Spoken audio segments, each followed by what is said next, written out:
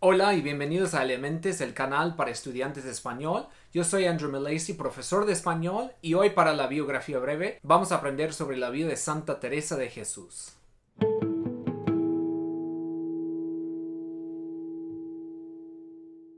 Teresa de Cepeda y Ahumada, más comúnmente conocida como Santa Teresa de Jesús, nació en 1515 y murió en 1582 en el pleno siglo de oro español.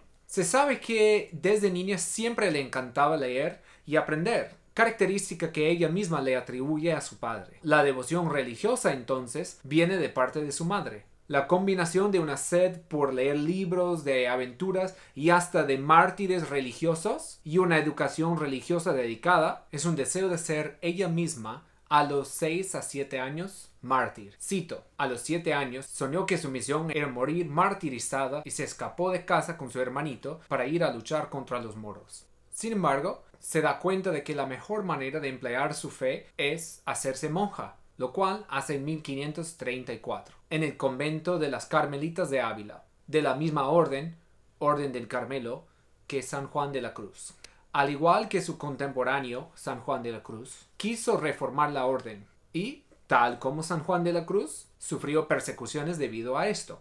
Sin embargo, el legado de esta gran escritora queda claro. Cito, su vida marcó una época, porque en un mundo dominado por los hombres, defendió el derecho de las mujeres a desarrollar su propia personalidad llegó a fundar un convento de la orden reformada y decidió vivir una vida de pobreza dependiendo de la caridad de otros. Como poeta, es conocida como una fundadora de la poesía mística, en la que Dios toma el completo control del alma de la persona y la lleva a un estado de alta intimidad, donde se le enseña secretos o misterios de la fe en un tipo de éxtasis religioso. Bueno, muchas gracias por mirar este video, espero que te haya gustado, que te haya sido útil. No olvides de suscribirte porque tenemos más videos de biografías, análisis textual, cultura, etc. Si tienes preguntas o dudas, deja tu comentario ahí abajo y recuerda que el texto completo de la biografía breve está en la descripción. Así que gracias de nuevo y hasta el próximo video.